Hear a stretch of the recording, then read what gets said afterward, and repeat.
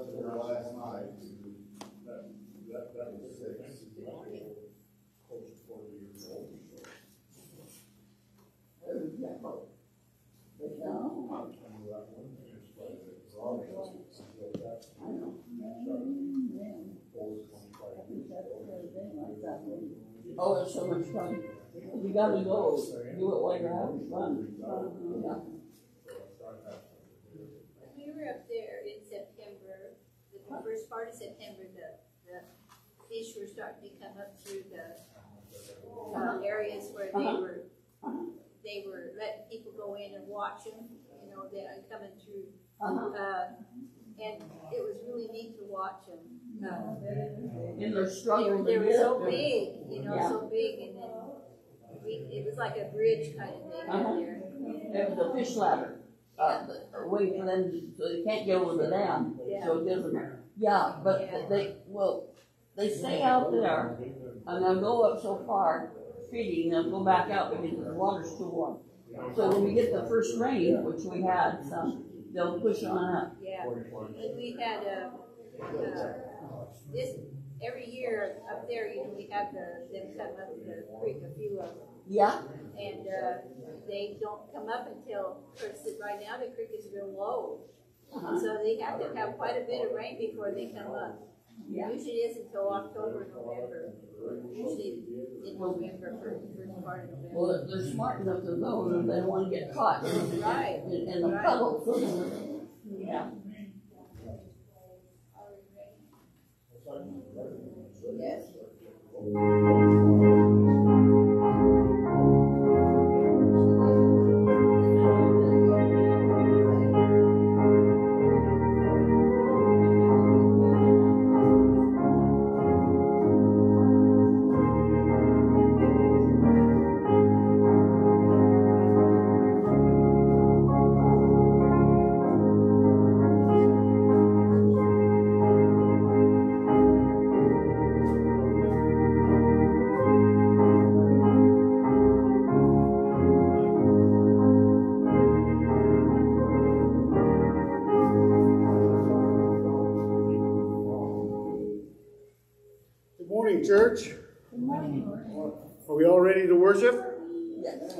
Stand for a word of prayer, please. Our Father in heaven, we are truly thankful that we gather here today as a fellowship of Christ followers, Lord. We'd like to ask your blessing upon this service and the, and all the people attending today. We ask you to bless those that can't be here for any particular reason, Lord. At this time, we'd like to thank you for your word, our Bible, Lord, for the truths and the guidance we can find in there to get us through our lives in a manner that would please you, Lord. We pray for Christian churches throughout this world, Lord. We pray for a revival that your Christian churches will be filled, Lord. We are thankful for the country that gives us the freedom to uh, worship in a manner that, that pleases us. This we pray in Jesus' precious name. Amen. You may be seated.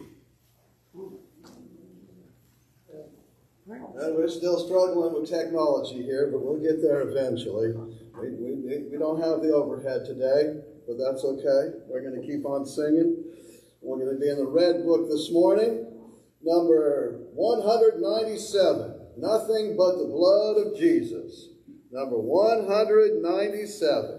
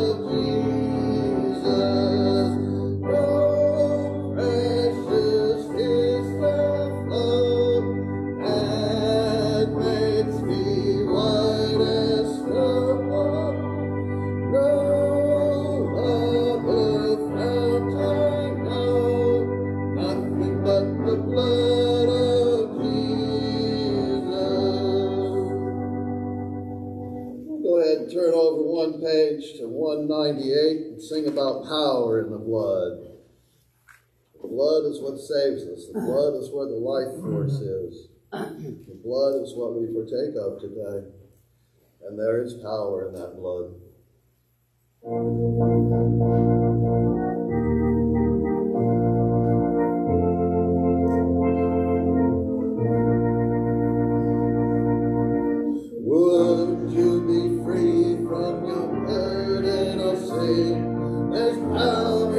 the blood, power in the blood.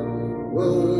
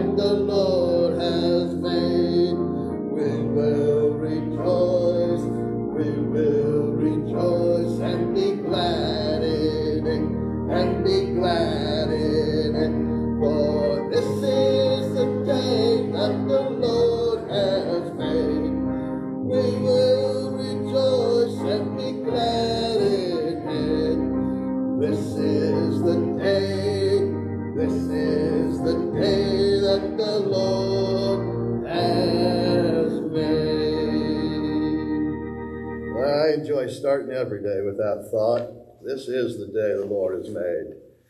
No matter how it turns out, this is the day the Lord has made. We should live in it, rejoice, and be glad in it. King of kings, Lord of lords. We sang this on our revival. Haven't sang it in a while, so I was looking forward to leading this today. Let's go through it about three times.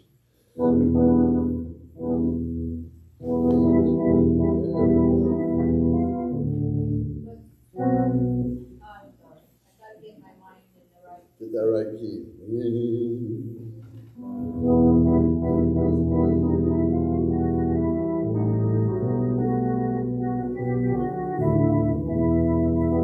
Sorry. That's okay, we're getting there. You ready? Let me get my mind around this, okay? You ready? Okay. King of kings and Lord of lords, glory, hallelujah.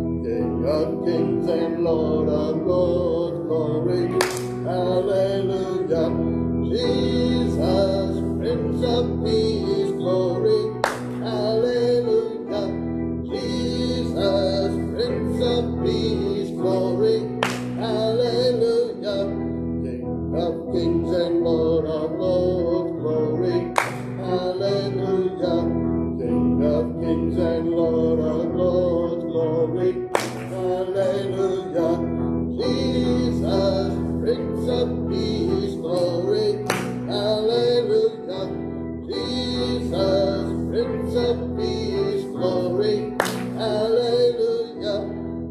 of kings and Lord of lords, glory, hallelujah.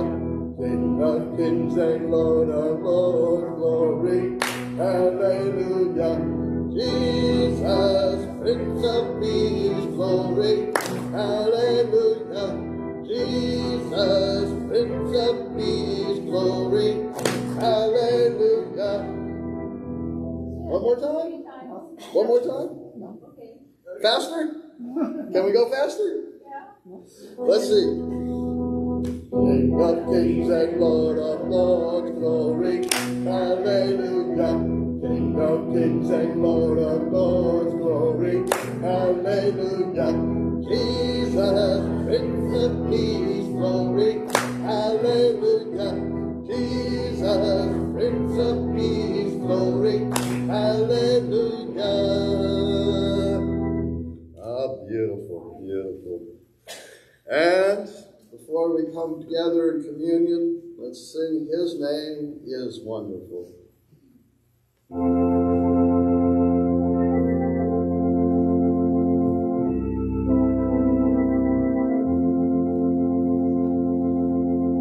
His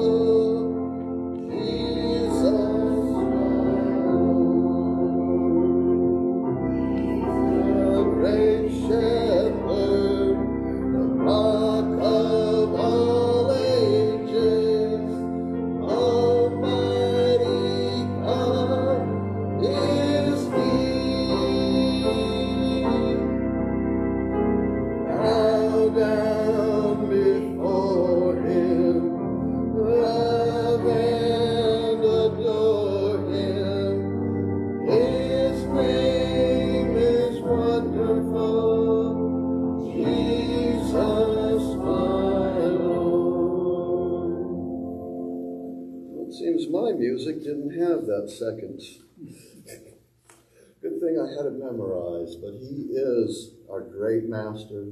He is the Lord of everything, and His name is wonderful. We'll be taking up the communion now, and I'll be doing the communion message this morning. I'm going to be reading from 1 Corinthians chapter 10, starting in the first. Chapter 10, starting in verse 1. Moreover, brethren, I would not that you should be ignorant how that all our fathers were under a cloud, and all passed through the sea. All were baptized unto Moses in the cloud and in the sea, and all did eat the same spiritual meat, and all did drink the same spiritual drink. For they drank of that spiritual rock that followed them, and that rock was Jesus Christ. You know, I know grandkids have asked me, they asked the first time we had communion, they were here, they said, Oh, what's this all about? So, well, we told them, you know, this, this is for people who get baptized. This is one of the ways we worship Jesus. But I'll talk to you more about it later. I talked to them about it later, explained that Jesus died for our sins. He set up this Last Supper right before he died, and he asked us to do this in remembrance. So I explained this to them. Of course, the next question is, well, what's baptism? Hmm? That's, that's a little more tricky question. what's baptism? Baptism is becoming part of the family of God. Baptism is making a commitment to worship God. Baptism is making a commitment to be here. Baptism is making the choice to choose God over ourselves. But Jesus set up this that we could remember him. As it said here, they all drank from that same spiritual drink and they all ate from that same spiritual meat. And once we're baptized into the family of God, we come together every Sunday and we eat the same spiritual food, we drink the same spiritual drink. We do that as we hear messages, sing songs, and we also do that as we take this Holy Communion. We take the loaf, our spiritual food, that represents our spiritual food, take that in. We take the drink that represents Jesus' body. He was that rock that provided us that spiritual drink, as Paul says in Corinthians. So we need to think on these things because Jesus asked us to remember him. Let's have a word of prayer before we partake. Dear Father in heaven, we thank you so much that you did send your Son down to die for us, that we could have this spiritual drink and this spiritual food, that we could always take it in, not only in listening to hearing the lessons, but in taking this communion. Pray that you'll bless our taking of this communion, help our hearts to be in a right place. Bless the loaf that represents Jesus' body, bless the cup that represents Jesus' blood. Help us to always take it in a right manner and help us to always share your Son with others. Pray this all in Jesus' name. Amen.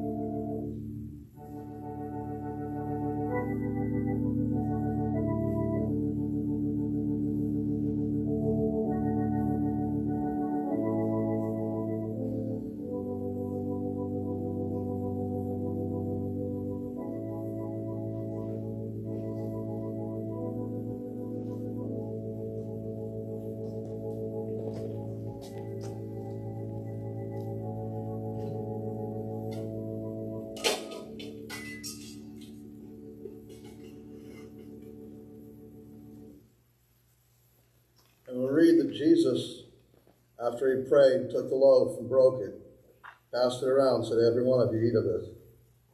It's my body. In like manner, he blessed the cup, passed that around to everyone, said, Drink ye all of this. New Testament in my blood.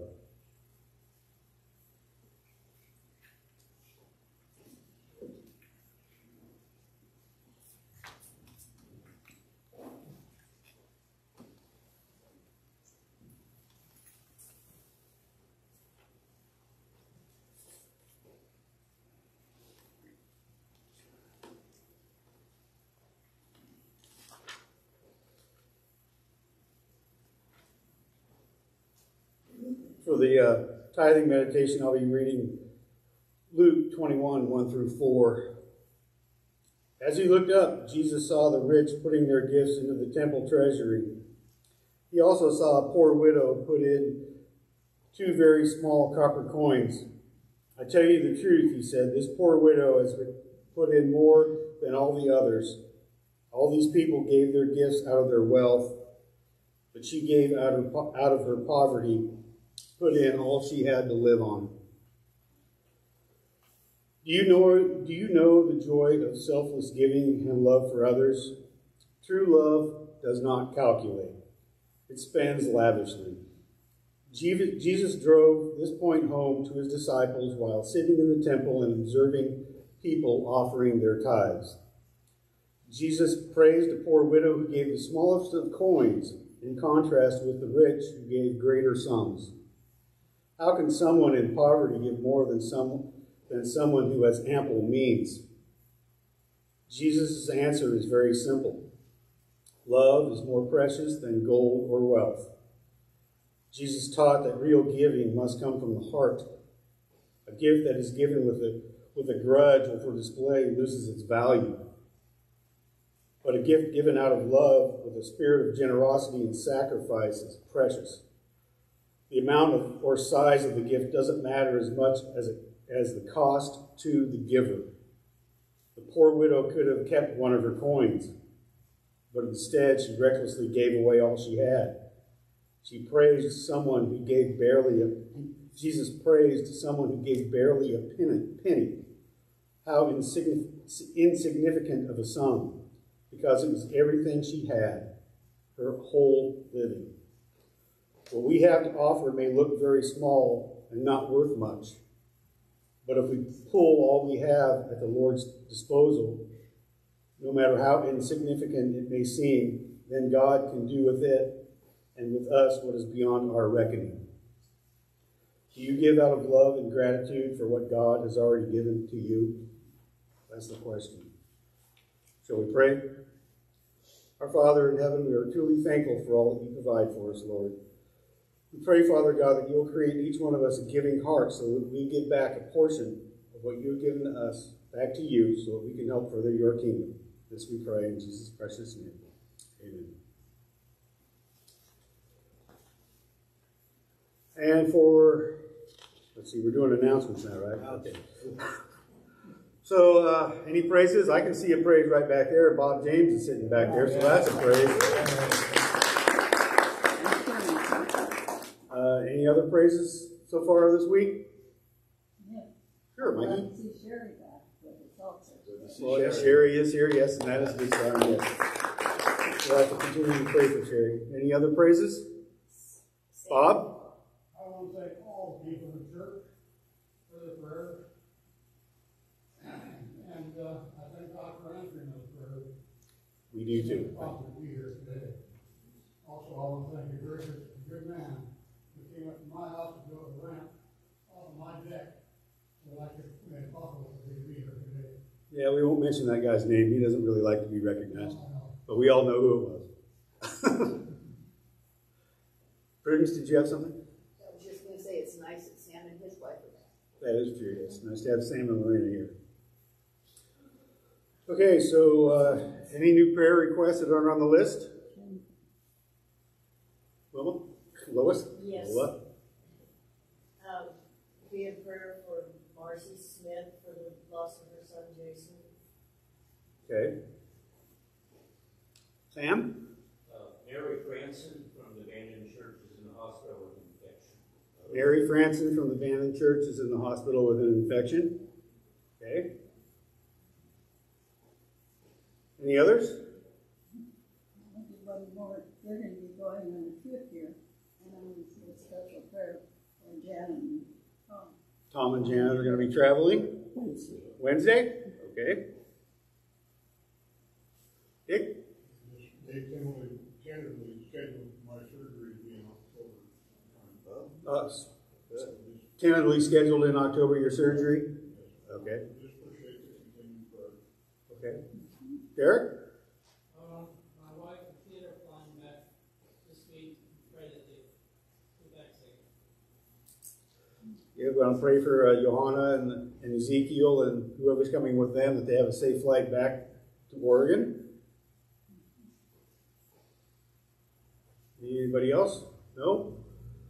Okay, uh, we'll go down the list here. Uh, Sherry still needs prayer. Uh, Lois uh, mentioned a, a lady named Shirley's having back surgery. Uh, need to continue to pray for Charmaine, who has cancer. Uh, Mac McPherson's got health issues. Um, we remember Jerry needs lots of prayers for medical conditions and whatever's and everything else that's going on. Uh, need to remember to keep Steve, who's uh, traveling in Alaska, for in our prayers.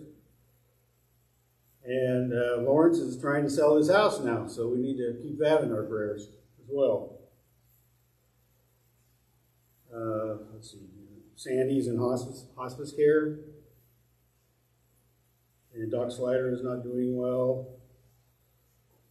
And all these other people that are traveling. Uh, let's see here. Uh, September birthday birthdays. There's a lot of them.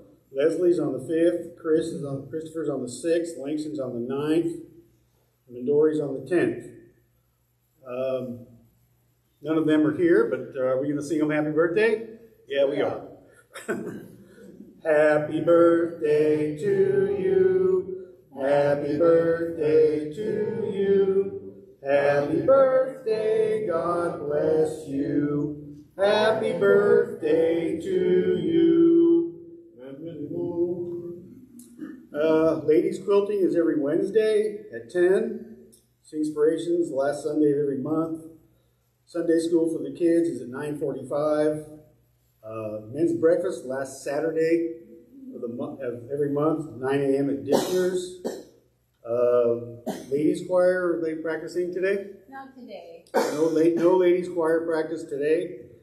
Uh, contemporary choir practices Wednesdays at six, and the first Sunday of every month is a potluck after morning church, and that is today. Anything else? Any other announcements? Uh, John, could you say a prayer for us, please? Our Heavenly Father, we thank you, Lord, the privilege we share gathering together in this place this morning. We have many needs and many problems. We pray that you be cognizant of all these issues. Thank you for the day that you've given us. In Jesus' name we pray. Amen. And uh, special music. Special music. I have. You have? What you like? Okay. I don't know it, but we'll give it a shot. Oh. 338. Okay, so for special music today, we're going to sing congregationally number 338. Know who I have believed.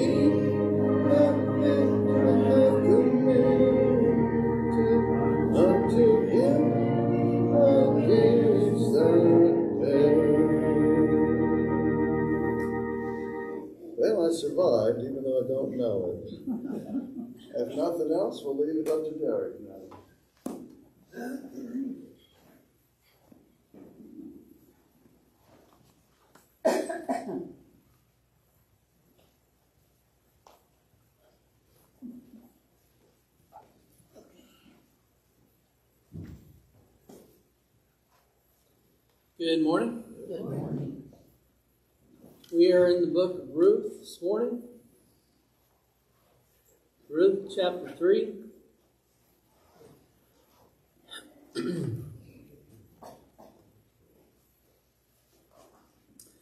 Father, thank you for your word. We thank you for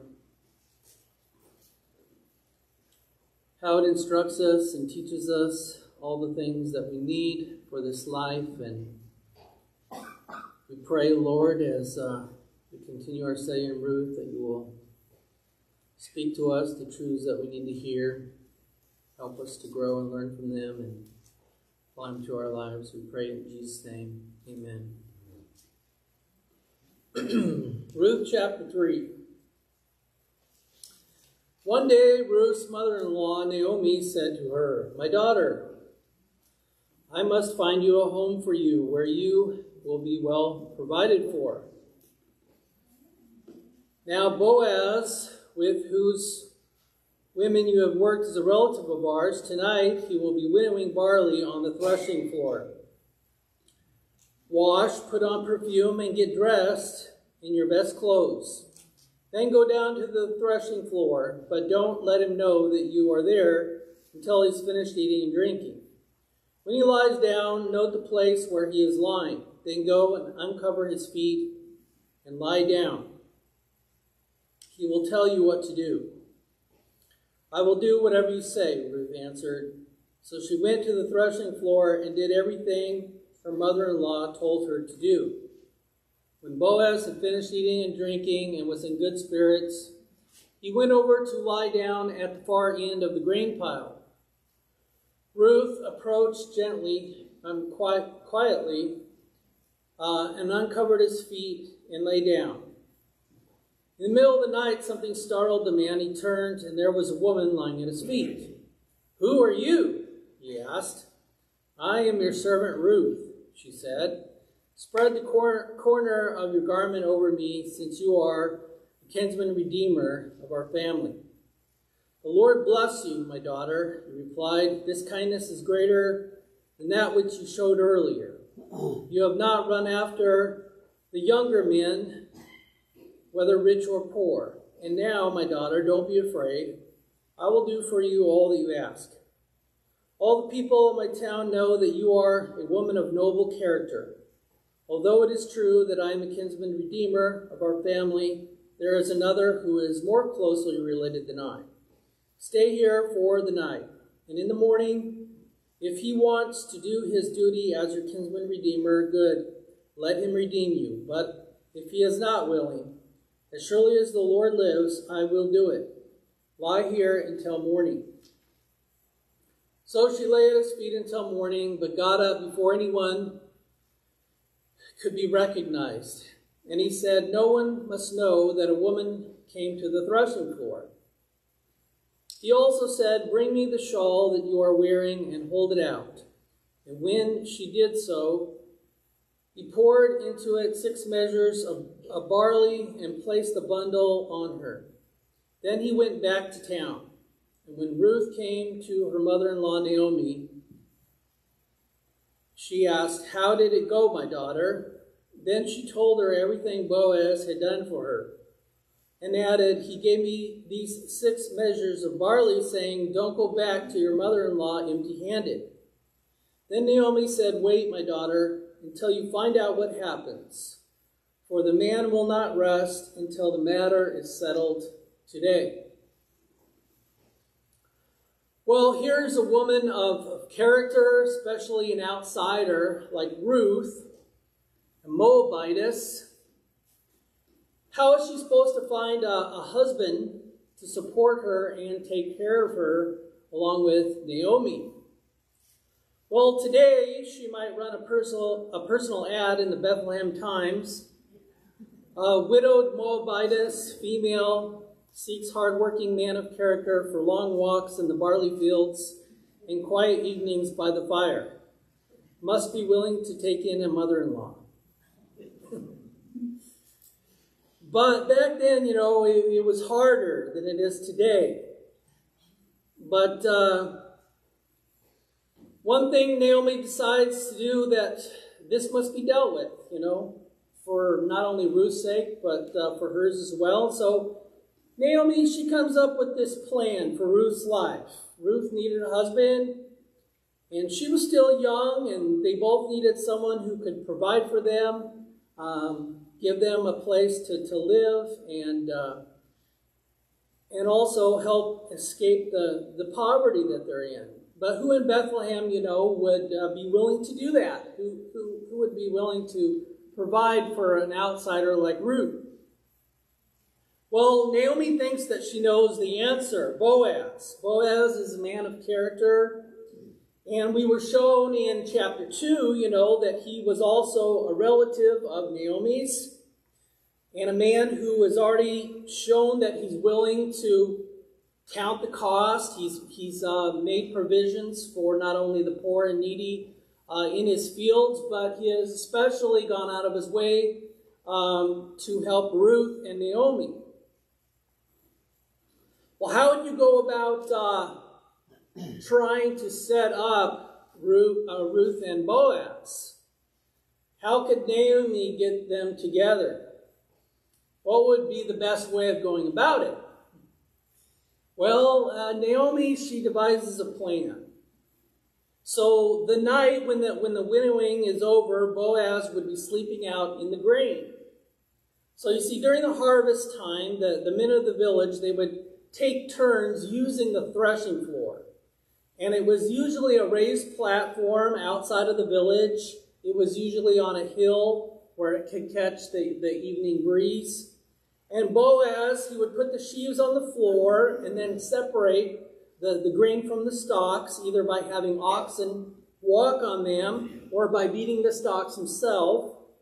And then once the grain was separated, then he would throw the grain into the air, and the, the breeze would carry away the chaff, and the grain would fall to the floor. The grain would then be piled up and carried away to sell or to be put in storage. And they would work late into the evening, and uh, they would sleep on the threshing floor, uh, partly to protect the harvest, you know, from thieves and whatnot. And so Naomi, realizing that Boaz was going to be outside of the village and using the, the threshing floor that evening, she sees this opportunity. So she says to Ruth, Get washed, get dressed, make yourself presentable. Tonight is the night. Go and see where Boaz lies down, and then lie down next to him at his feet. Now, this is a little risky because, you know, she's putting her reputation on the line here, along with her personal safety. Um, remember, we had studied in the last chapter that it was, it was risky for foreign women to go and glean in the fields. So it was risky for them to go out in the daytime um, and glean in the fields. How safe is it going to be for her to be wandering around at night? And also, there's chance she could risk her reputation, you know, by being alone with a man in the middle of the night. So Ruth, she agrees to her mother-in-law's plan, and so there she is alone with uh, Boaz on the threshing floor. Boaz had uh, finished his work for the day. He had eaten his dinner, drank some wine, and he, he goes and he lies down at the, the end of the grain pile and he goes to sleep. And in the middle of the night, something disturbs him. And he rolls over, and whoa, there's a woman there. now, the English translation, it's a, it's a little too subtle here. It says, In the middle of the night, something startled the man, and he turned and discovered that a woman was lying at his feet. As if some, this is the kind of thing that happens all the time, you know, when you're sleeping out on the grain pile, like some cat disturbing you in the middle of the night or something, you know. No, it. The Hebrew is much more shocking. It's more like he says, Whoa, what happened here? Who are you? And she responds, I'm Ruth, your maidservant. Spread the corner of your cloak over me, since you are a kinsman redeemer. Now, when Ruth says, uh, spread your cloak over me or your garment over me, um, a couple of thoughts might come to mind here. Uh, first of all, Ruth is not asking Boaz to sleep with her. Uh, fornication was, was wrong in the Old Testament, it's wrong in the New Testament, it's wrong today. And Ruth, as we've seen and as we've read, it says that she was a woman of noble character. And um, Boaz also said that she was a woman who took refuge under the wings of, of God. So she was a woman who had committed herself uh, with all that she had, you know, to, to do the right thing and to take care of her mother in law. So she's not a loose woman. That's not what's going on here. Or perhaps you might think it sounds like she's saying, I'm cold. Can I use part of your cloak to, to cover me? You know, like when your wife takes all the blankets. but that's not what's happening here either. Um, because in the ancient world, you know, when a woman made herself available uh, to a man for marriage, she would say, you know, if you want to put your cloak on me, I'm cool with that. and so when a, when a man wanted to ask a woman to marry him, he would put his cloak on her. So it's kind of a beautiful picture saying, you know, I want to come and I want to I want to cover and protect you and care for you and provide for you. That was kind of the, the message. And so here she's lying at his feet. She's not beside him, she's at his feet. And he wakes up startled and she says, If you would like, go ahead and put your cover on me because I'm available. So she's saying, I would, I would like to be the one with whom you form this covenant. I, I would like to be the one that you betroth yourself to in faithfulness. And then look at how uh, she, she ends here. Since you are a kinsman redeemer. So she reminds him of the fact that he is in the clan and he is free to redeem and to rescue uh, her and Naomi if he's willing. And I'll summarize Boaz's response here. It's something along the lines of, all right. something along those lines. Uh, this, this word for, for garment or cloak is also translated wrong, and, and that brings us back to chapter 2, because in chapter 2, verse 12, Boaz says to Ruth, May the Lord repay you for what you've done. May you be richly rewarded by the Lord, the God of Israel, under whose wings you have come to take refuge. So it's that same kind of idea, you know, even though, though Boaz was admiring Ruth for taking refuge under God's wings, Boaz also, he's being used by God to be those wings, you know, to care for Ruth and Naomi. He gave Ruth free access to his fields. He gave her, remember, protection from the, the young men he gave her water from the well. And, and Ruth had said, Why have I found favor from you, Boaz? And Boaz says, Because you have taken refuge under the wings of God. And what Boaz is ultimately saying is because you've taken refuge under the wings of God, you're the kind of woman that I would like to take under my wings. Uh, it, it wasn't easy for an older man to say he's falling in love with this younger woman. And when she comes to him that, that night, he says, God bless you that you didn't go after a younger man. He was probably, you know, 20 years older than she is, and he, he's falling in love with her. And um, it isn't easy for him to tell her because he's probably thinking, you know, she's probably in love with one of those young, handsome men around here, you know. Who am I? You know? But Boaz, he showed her that he would like to be her protector and provider by showing her loving kindness and by saying, I admire you for, for giving up everything to come here and to take care of Naomi, and how you've come under the wings uh, of the Lord God for your protection. So he's he's delicate and subtle, but he's letting her know, you know, that he that he does care about her. Um, and so she will come to him at the threshing floor and say, Yes, um, but she will say it with an accent, this action, you know. So she crawls under his wing and she waits, you know, whether he's interpreted or she's interpreted him correctly or not. Because sometimes, you know, you can try to uh, interpret what the other sex is thinking or doing, and sometimes you don't always get it right. but uh, so uh, she says, "Put put your wing over me," you know, and uh, so there must have been kind of this this silence while Boaz is kind of processing all this and taking it all in. I mean, you can just imagine the picture, right? The stars are out, they're outside, maybe there's a big moon. We had a big moon a couple days ago. Did you guys see that? Um, you know, it's midnight, everybody's asleep, and they're out in the village, you know, upon this hill on this threshing floor, and, and Boaz loves Ruth, and Ruth is falling in love with Boaz, and she's under his cloak at his feet, and he says, the Lord bless you, my daughter. This kindness is greater than that which you showed earlier. You've not run after the younger men, which, uh, whether rich or poor. And now, my daughter, he says, don't be afraid, for I will do for you all that you ask. For all my fellow townsmen know that you are a woman of noble character. So again, he brings up her, her character, that's known that she is a woman of noble character. And then comes this, this incredible statement. He says, uh, Ruth, according to the custom, you know, there's this man that has first dibs on you. I, I can't proceed, you know, until everything is settled. This guy first. So he says, stay at my feet until morning, and I'll see what, what I can do.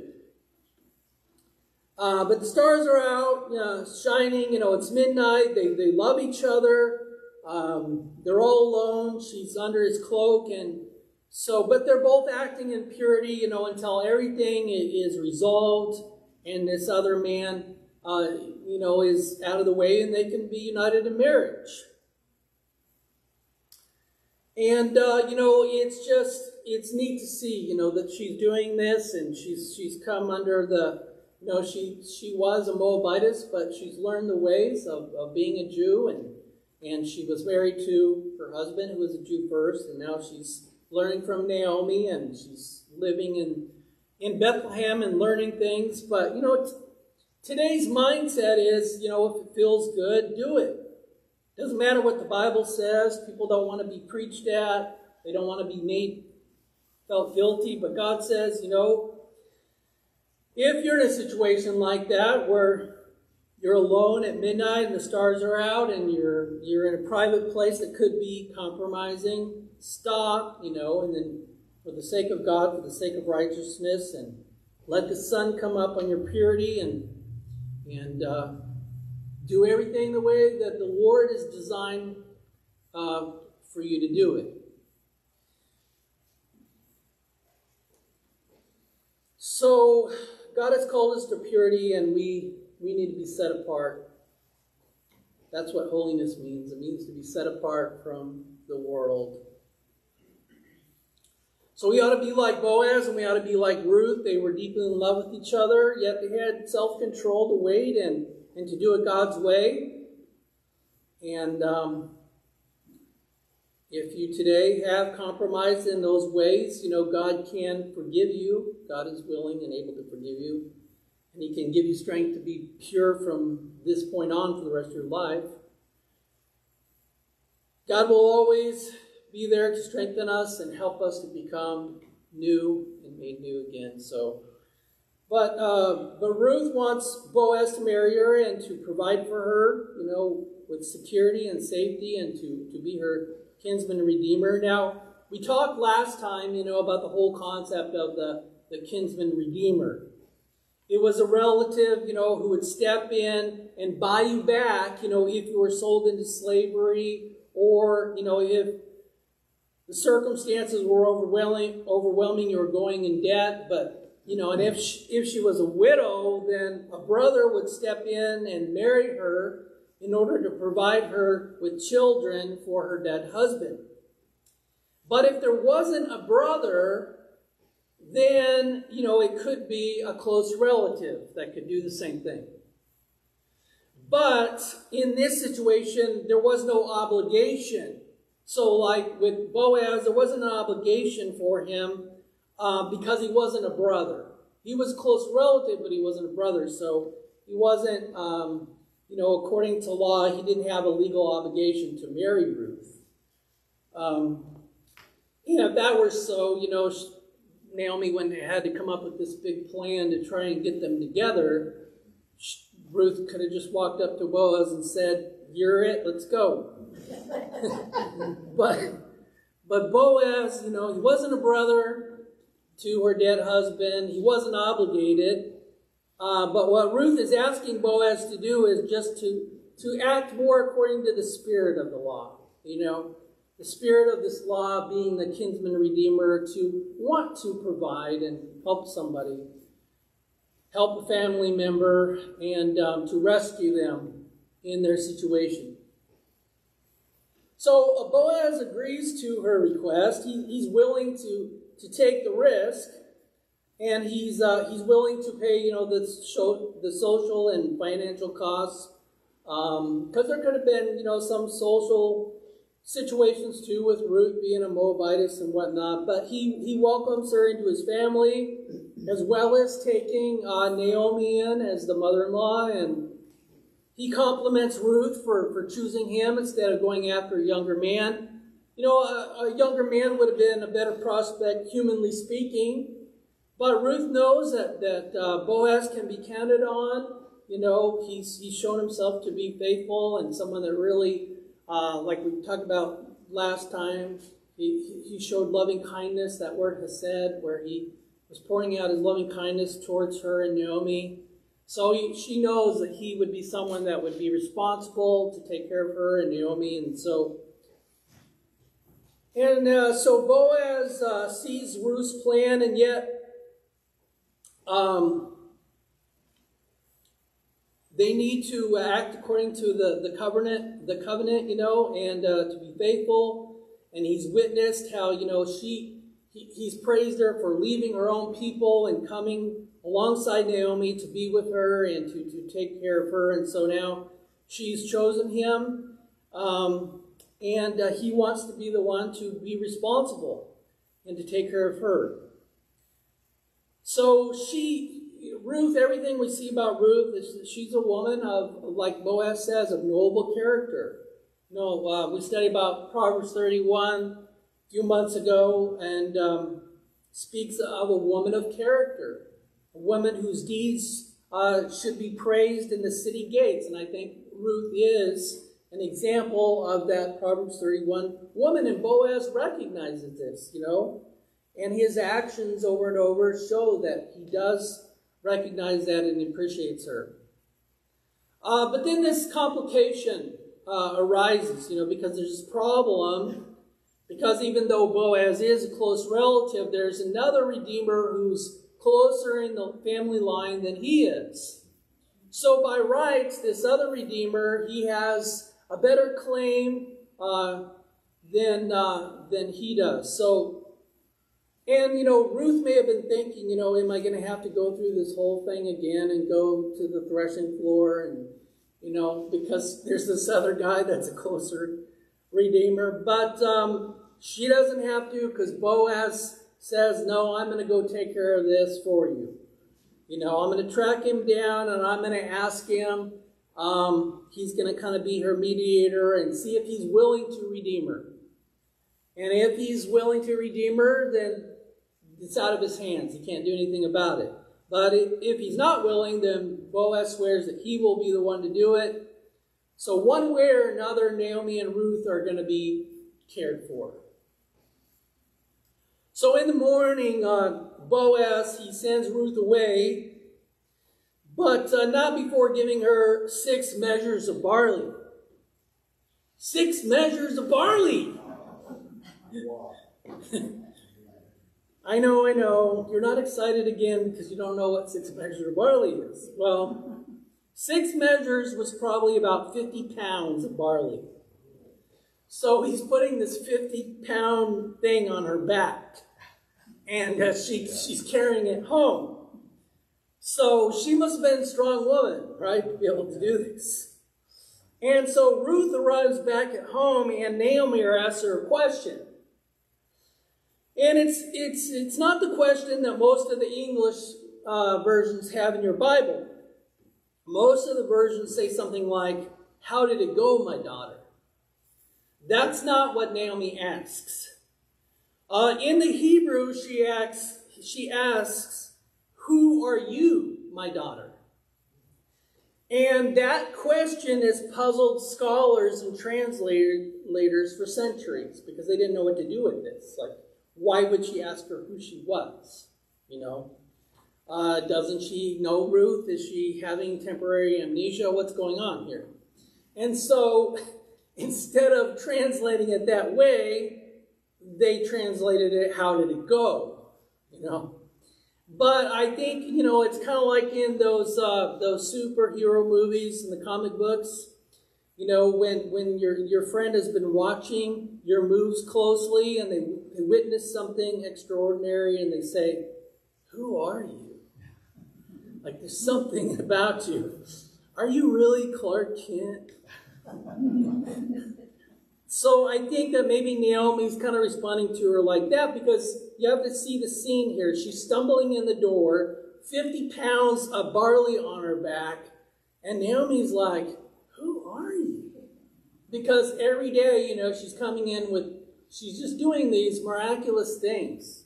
Ever since Ruth has come along with Naomi, all these amazing things have been happening. Her life is totally being turned around. Remember, uh, we talked about how she was depressed and saying, My life is over and everything terrible's happening. And then with Ruth, though, all these amazing things keep happening. And so she's like, You're not who I thought I was, you know? So she sees Ruth in a different way, and I think she's really starting to appreciate Ruth in her life. Remember how she was not even grateful that Ruth was coming along with her, and now I think she's really seeing her as somebody that the Lord's put in her life that she can be just really grateful. Um, so the Lord is continuing to bless both of them, and um, and all these amazing things start happening. But now I want to turn your attention kind of in, a, in another direction because um, there's one other place where the Bible talks about someone placing their cloak on a young woman. You know where it is? Someone placing their cloak on a young woman because he's in love with her. Well, it's found in Ezekiel, the 16th chapter, and the 8th verse. And, and in this story, God is the lover. And he is speaking to Israel. And God is betrothing himself to Israel in the same way that Boaz is betrothing himself to Ruth here. He is the one that has committed himself in marriage to Israel, like Christ has betrothed himself to us, the church. He's our bridegroom. So let me just read it to you in Ezekiel 16, starting at verse 4. When you were born, no one cared about you. Your umbilical cord was left uncut, and you were never washed, rubbed with salt, or dressed in warm clothing. No one had the slightest interest in you. No one pitied you or cared for you. On the day that you were born, you were dumped into a field and left there to die, unwanted. But I came by and I saw you there, helplessly kicking about in your own blood. As you lay there, I said, Live. And I helped you to thrive like a plant in the field. You grew up and you became a beautiful jewel. Your breast became full and your hair grew, though you were still naked. And when I passed by and saw you again, you were old enough to be married. So I wrapped my cloak over you to cover your nakedness. And that's where it's the same wording there. He's placing his cloak over her. So I wrapped my cloak over you to cover your nakedness, and then and I declared my marriage vows. I made a covenant with you, says the sovereign Lord, and you became mine. Then I bathed you and washed off your blood. I rubbed fragrant oils into your skin. I gave you expensive clothing of linen and silk, beautifully embroidered, and sandals made of fine leather. I gave you lovely jewelry, bracelets, and beautiful necklaces, a ring for your nose, and earrings for your ears, and a lovely crown for your head. And so you were made beautiful with gold and silver. Your clothes were made of fine linen and were beautifully embroidered. You ate the finest foods, fine flour, honey, and olive oil, and became more beautiful than ever. You looked like a queen, and so you were. Your fame soon spread throughout the world on account of your beauty, because the splendor that I bestowed on you perfected your beauty, says the sovereign Lord. So, what a beautiful picture of, of God caring for and loving Israel. First, as this helpless infant, and then as a beautiful young bride, as he spreads his cloak over her and enters into this marriage covenant with Israel. And as I've stated earlier, you know, to spread your cloak over also speaks of, you know, being covered with wings because it emphasizes this idea of protection. And, you know, this was also the picture that Jesus used of Jerusalem and his, his plea over Jerusalem when he said, O Jerusalem, Jerusalem, the city that kills the prophets and stones God's messengers.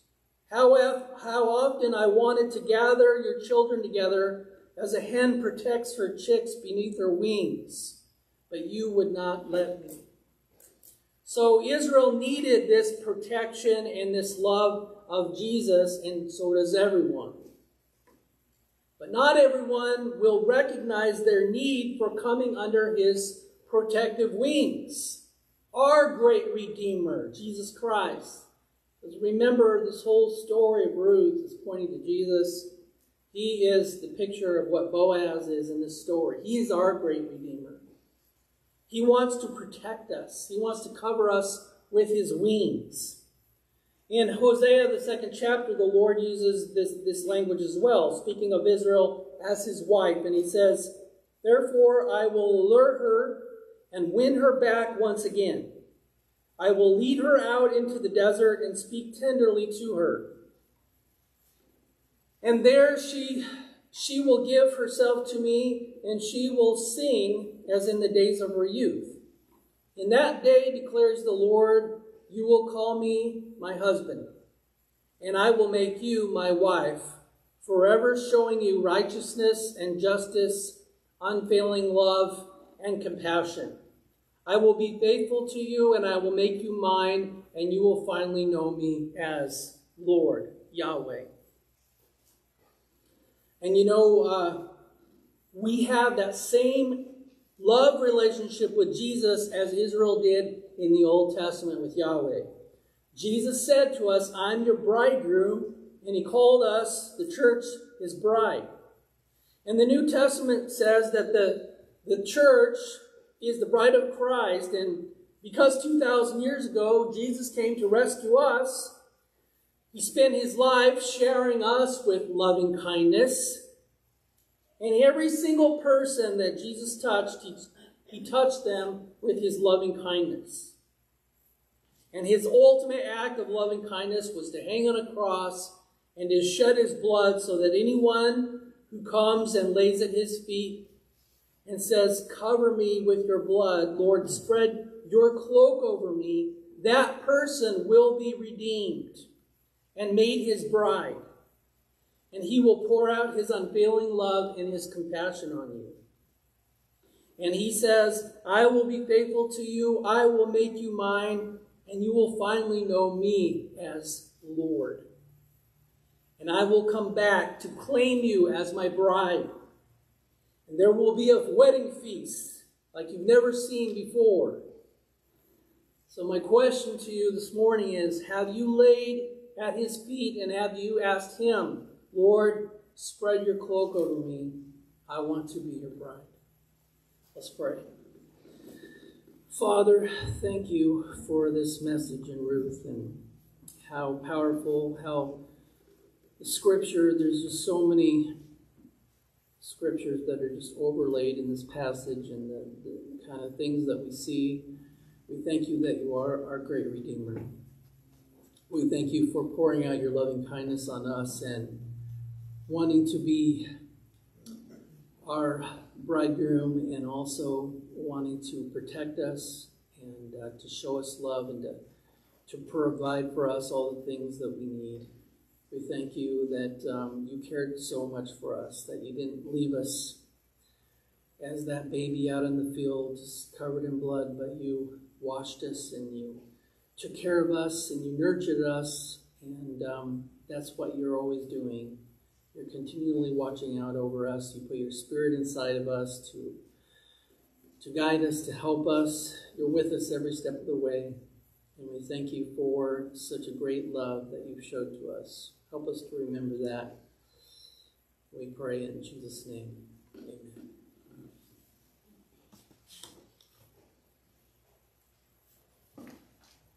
Thank you, Derek. That was just another wonderful message. Short book, the book of Ruth, but a lot of good stuff in there. Thank you for bringing that to us. We're going to sing our closing song from the Blue Book. Derek's requested we do number 249, Just As I Am. He also asked if I go ahead and read all, uh, lead all five verses. So, if you feel up to standing for all five verses, please do as we sing our closing song, number four, 249, Just As I Am.